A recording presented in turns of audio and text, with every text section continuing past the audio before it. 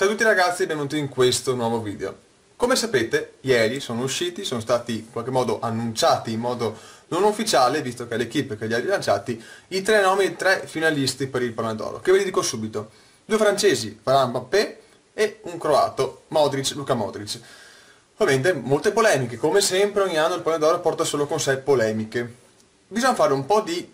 mettere insieme un po' di presupposti prima di iniziare a parlare di quella che è la mia idea, di chi l'ha messo, di chi non l'ha messo e così via, di chi lo vincerà e chi non lo vincerà. Innanzitutto è un premio che si basa su dei criteri.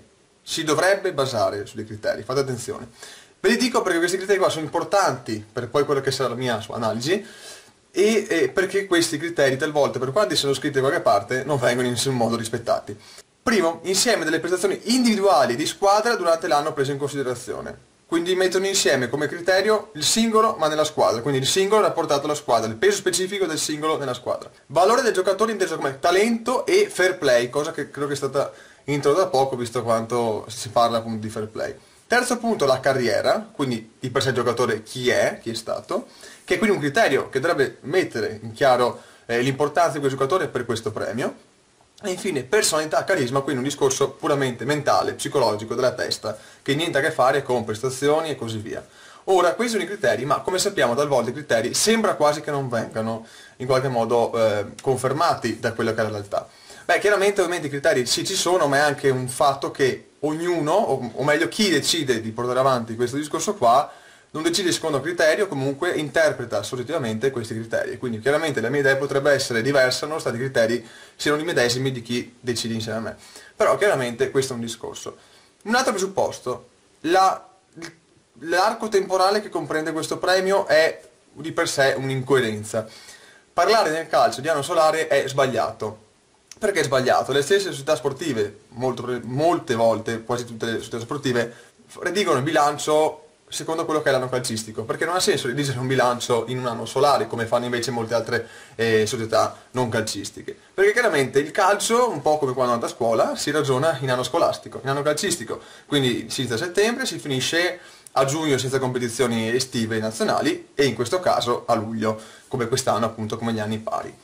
Questa cosa qua è molto importante da dire, secondo me è l'unico vero problema di questa competizione, perché effettivamente non si dà mai risalto all'anno solare così per intero, cioè è un premio basato sull'anno solare ma che non tiene mai in nessun modo conto dell'anno solare, perché io voglio che un premio, cioè sarebbe giusto che un premio andasse a quello che in 12 mesi, non dico 12 ma comunque 10 tolta la pausa estiva, faccia determinate cose. Invece talvolta le liste già iniziano a essere eh, diramate, beh adesso per i finalisti adesso che siamo a metà novembre, il 20 novembre, ma le liste dei primi 30 così già si sapevano da ottobre, quindi chiaramente a due mesi dalla fine dell'anno. Se poi togliamo questi a altri due mesi che sono quelli della pausa estiva, praticamente un premio basato su 8 mesi.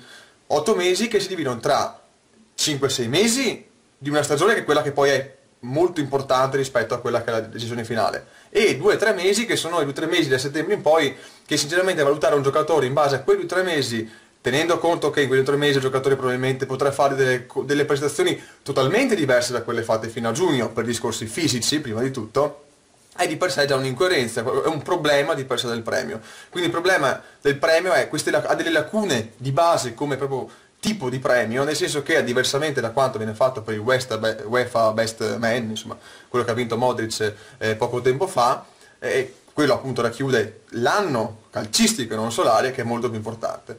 Ecco quindi anche France Football, visto che il Pallone d'Oro è di France Football, visto che prima era unito con quello FIFA ma adesso sono divisi, tutti i premi individuali dovrebbero essere dati alla fine di qualcosa, quindi alla fine di una stagione, alla fine di una competizione e non alla fine di un anno che non c'entra nulla, nulla a che fare l'anno con quella che è la prestazione e la continuità di prestazione di un giocatore.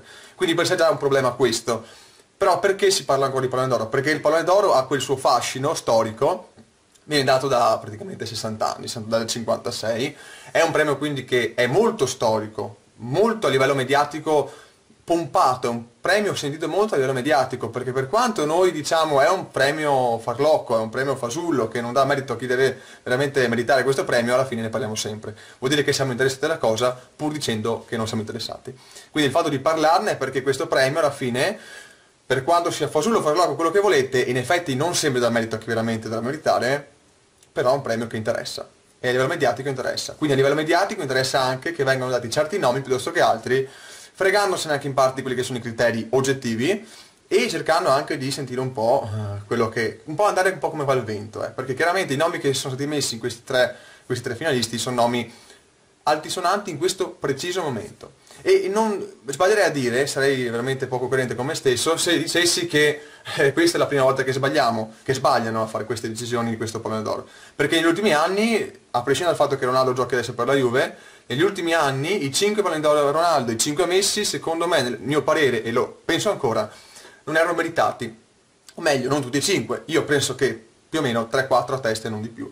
E sapete benissimo anche voi quali premi toglierei a questi due giocatori. Toglierei il premio del 2010, il premio del 2012, non mi ricordo chi fosse stato segnato, forse a Messi, e un altro eh, degli ultimi anni di Ronaldo. Quindi praticamente direi 4 Ronaldo e 3 Messi, secondo la mia visione sì, poi chiaramente però ovviamente le opinioni sono discordanti, quindi alla fine la verità assoluta non si ha. Però voglio tornare su quelli che sono i tre nomi. Intanto perché hanno vinto questi qua, hanno vinto, hanno, hanno raggiunto la finale. Partiamo dal primo, Modric. Modric è un giocatore simbolo della Croazia finalista, che non si sa come è arrivata in finale, nel senso che si sa, nel senso che ha avuto molto merito, però chiaramente una Croazia che è una squadra buona, ma niente di più, è arrivata in finale mondiale, quindi questa cosa ha veramente dato beneficio a Modric, il quale somma questo discorso a quello della Champions League che ha vinto. Mbappé. Mbappé è il giocatore più mediatico del momento, è il Neymar di due o tre anni fa, è il Ronaldo e Messi degli ultimi dieci anni. È il giocatore che ha portato la Francia a vincere i mondiali. Non è stato solo lui, però è stato sicuramente molto incisivo, seppur non continuo, ma contando l'età solo 20 anni, quindi 20 anni vince un mondiale, ricordano giocatori ben di altri passati, ricordano Ronaldo il fenomeno, ricordano i Thierry Henry, questi giocatori qua che hanno portato veramente molto in età giovane alle loro rispettive nazionali. Quindi Mbappé è stato inserito anche per un discorso mediatico, perché tutto il pallone d'oro è un discorso mediatico, non è un discorso di complotti o quant'altro, ma un discorso che certi giocatori passano nelle menti di chi decide in modo diverso, pur non avendo magari meriti oggettivi da, eh, sui dati statistici. E infine Varane, Varane secondo me è un discorso più francese, ricordiamoci che France Football è un premio francese, la Francia è campione del mondo, vogliono replicare in parte secondo me quello che è stato cosa? Quello che ha fatto l'Italia qualche anno fa, quando l'Italia era al top, quando l'Italia vinse il mondiale. Mandò Cannavaro e Buffon, i primi tre. Due giocatori che per carità meritavano entrambi, però chiaramente il Cannavaro è visto un po' come il simbolo di difensore, quindi non centrocampista attaccante, che prende, che è talmente forte ed è quasi un, un, modo per dimostrare che anche i difensori possono ambire questo premio. Un po' come il Neuer 2014, nessuno si è infischiato, tutti sono infischiati di questo Neuer perché alla fine non ha vinto, però lo mettiamo perché avere il portiere è più figo, no? in effetti, cavolo, il portiere nessuno ci è mai andato tranne Buffon appunto e appunto Neuer e quindi la Germania vincitrice del mondiale è più interessante mettere Neuer, così come è interessante mettere Varane, ma non perché Varane effettivamente eh, ambisca questo premio, perché alla fine non lo vincerà, e non perché effettivamente meriti di stare tra questi tre. Nulla a che vedere con Varane, Varane è un difensore molto forte, che piace molto anche a me, però da qui a mettere tra i primi tre, per, per i motivi che ho detto prima, insomma, ce ne passa. Detto questo, io però ho detto, allora, però guardiamo questi criteri qua, applichiamo questi criteri secondo quelle che sono le mie, le mie opinioni, ma comunque cercando di rimanere in un frangente di di oggettività comunque, cioè, certo è soggettiva anche la mia opinione, però è anche vero che perlomeno mi sono basato su criteri che secondo me non vengono in nessun modo rispettati da chi poi decide veramente, non io. E mi sono scritto un po' di cose, mi sono messo i quattro parametri, confrontando i tre finalisti, e aggiungendo due nomi che secondo me dovevano andare di sicuro perlomeno dentro, o comunque potevano giocarsi questo, queste tre posizioni, che sono Griezmann e Ronaldo. Ok, andiamo per ordine. Mbappé, cosa ha vinto? Quindi primo criterio, ha vinto il mondiale e basta un club nulla di che.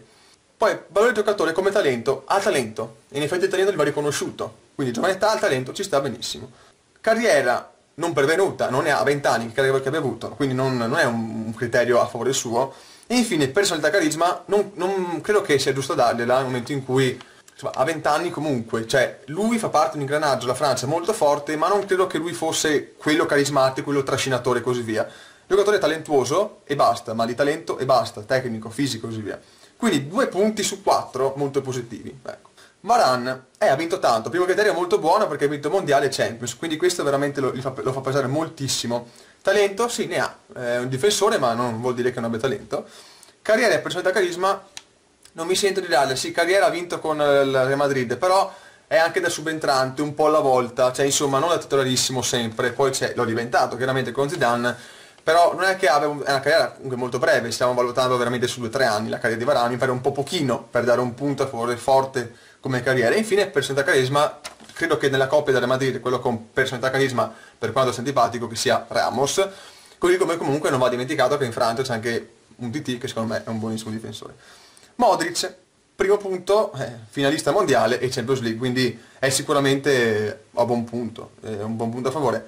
Valore giocatore, talento, ne ha tantissimo, fair play anche, un giocatore che si è sempre contraddistinto per essere un giocatore silenzioso, che non fa problemi, e me è un giocatore eh, modello, ecco, quindi non altisonante, però appunto per questo secondo me è un giocatore che va veramente, che merita anche qualcosina di più del talento puro.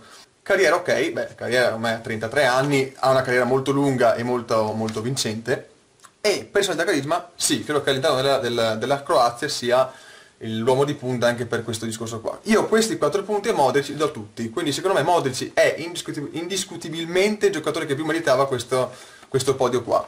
Griezmann, quello escluso. Vittorie personali con la squadra, mondiale e Europa League. Eh, qui pesa molto. L'Europa League è un po' meno dal Champions, però comunque più di quello che ha vinto Mbappé con un mondiale, ad esempio, ecco. Talento, sì, beh, ne ha, chiaramente, mi sembra un giocatore per bene.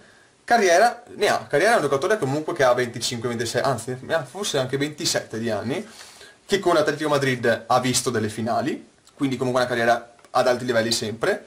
Credo che negli ultimi anni sia, secondo me, la seconda punta o esterna più forte che ci sia dopo i soliti nomi, i soliti che sappiamo, quindi ok.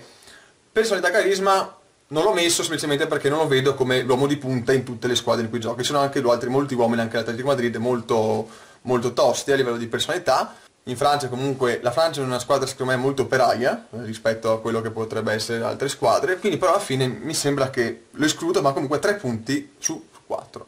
E infine Ronaldo, Ronaldo che secondo me ha tutti i 4 punti per questo motivo. Vince la Champions, che è solo la Champions ha talento, per lo lasciamo anche fuori, ma il talento ce l'ha, carriera non ne parliamo e persone di carisma non ne parliamo. Secondo questi criteri, i due che assolutamente non andare in questi tre finalisti, secondo i criteri, quindi basandosi sui criteri, se qualcuno finalmente si basasse sui criteri, sono Modric e Ronaldo. Infine, Modric e Ronaldo più un terzo, un terzo che deve essere per forza uno tra Mbappé e Griezmann, quindi comunque valorizzare un francese in ogni caso, che sarebbe quindi un francese, uno della Champions e uno per anche la carriera e così via. In questo caso avrei messo anche, va bene, anche Mbappé, per carità del Signore, un Mbappé, un Griezmann non, è, non importa, perché in ogni caso, secondo i criteri, a vincerlo dovrebbe essere Modric, direi, e quindi essendo secondo me Modric doverlo vincere, che tu metta Mbappé o Griezmann cambia poco.